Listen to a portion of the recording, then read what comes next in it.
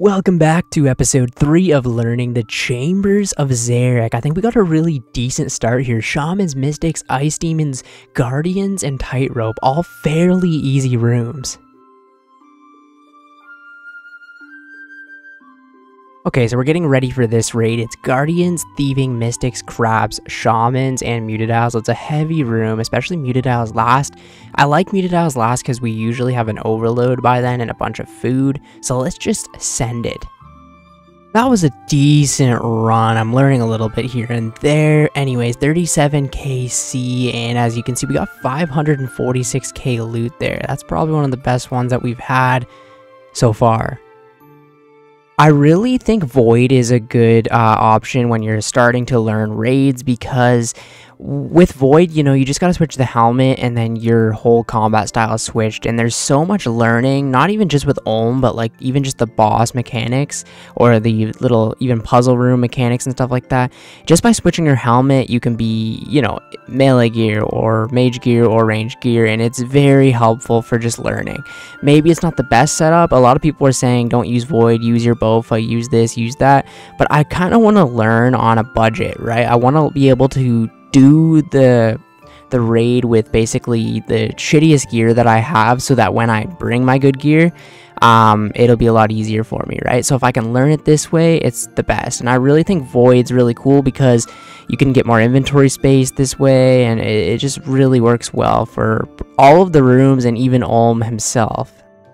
Also, when you're scanning the rooms, one tip that I've found to be very helpful is basically rooms that you know you're going to take a lot of damage on, um, try and get them, say, third or fourth, so that you can at least make potions beforehand. Having an overload for the rooms that you take a lot of damage on can really help you just push through the raid itself. And like I said, I'm doing the suicide method right now where I make a ton of brews, die purposely at Olm. So whenever I get to my farming, I make like 30, 40 brews. I really go overboard with this and just make sure that I'm ready for the final fight. Yesterday, I said I'm going to complete uh, three three or four runs, whatever it was that I had my goal set for. And uh, yeah, I ended up like dying multiple times at Olm during different phases and stuff like that. And the thing is, though, every time you go into raids, even just with the random, like even Guardians right now, right, you learn something that will help you for the next time that you are in the chambers. So, you know, dying doesn't really matter. It's a, it's a learning process at the end of the day, and every single time you go into the raid, you will learn something different, right? Even if you don't you know, complete the raid or whatever it might be, you're gonna learn something along the way, and that's what I've found um, that has helped me in this past like 100 hours or whatever it has been since I've started this grind. Um, just the learning process have has been inc- it, it's been insane. It's been crazy. There's so much that I've learned in such a I mean, it's been a long time, but such a short amount of time as well. So for example, right now we've got the Mystics room and I don't feel comfortable going into this without an overload and some more brews. Okay, so for the farming room, this is what I typically tend to do. I will use the energy well to just get some energy back to help me throughout it because I can probably use it again by the time I leave. And then I head up to the bank right here and it helps if you obviously upgrade the bank so that you can store a lot more into it. And I just deposit everything and I take the ingredients I need to make the potions obviously. And then I take the seeds that I'm going to need. So I'm going to start by making overloads right here. I'm going to take a spade and a seed dibber because that's all you actually need. You don't need the rake.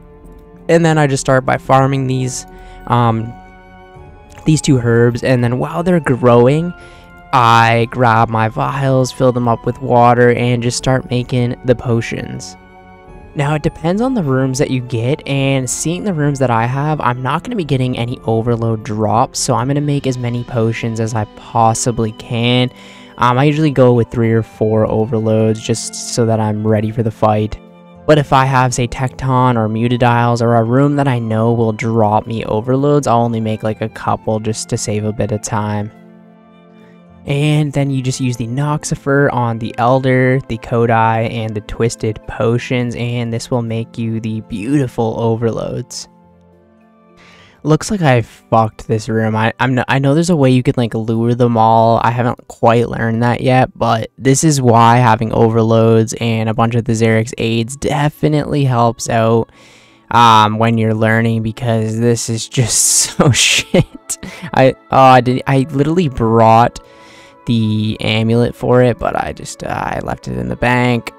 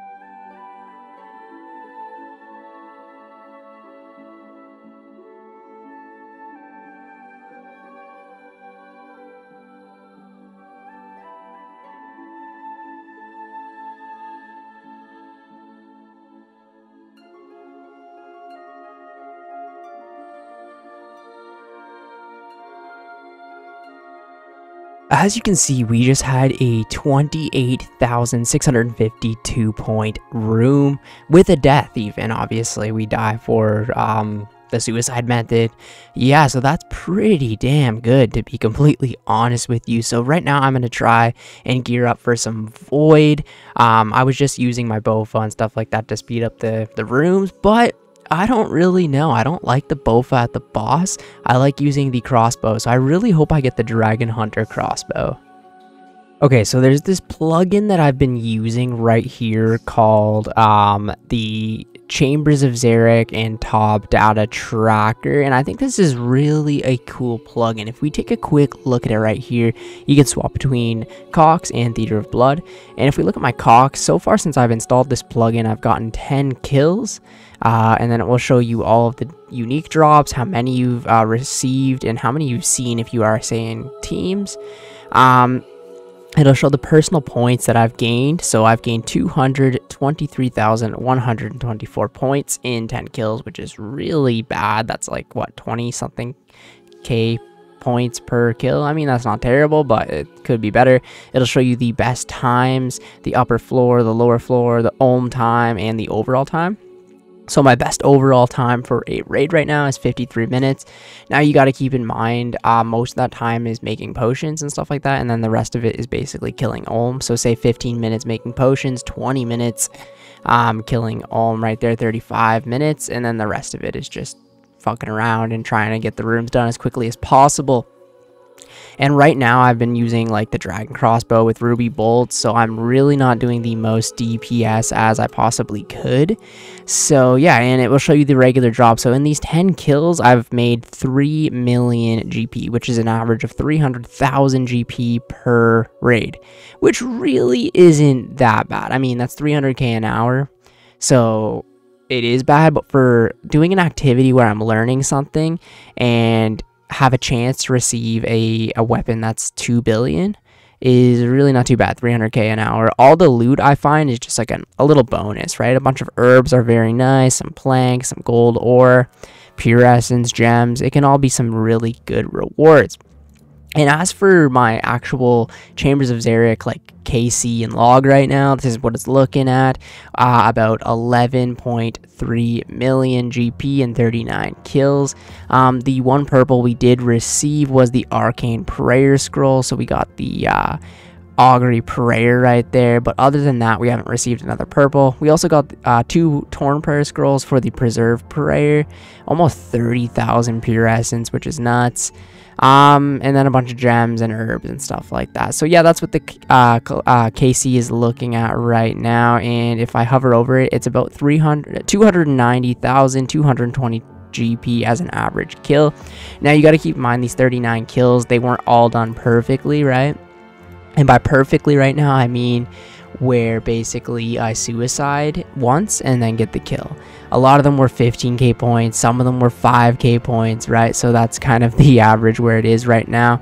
And if we take a quick look at the collection log right now uh, for the ch uh, Chambers of Xeric, it is 40 kills and yeah as you can see these are the uniques so nothing crazy like that we're gonna try and get it to where some somewhat where the Tombs of Amascut was about 200 kills i think will be a good place to stop as long as i get say the the dexterous prayer scroll and maybe one other unique would be really cool i really want the dragon hunter crossbow or obviously the twisted bow those are the two ones i really want the most but any of the drops would be huge I'm obviously not the best at the Chambers of Xeric, and there's still an absolute ton to learn.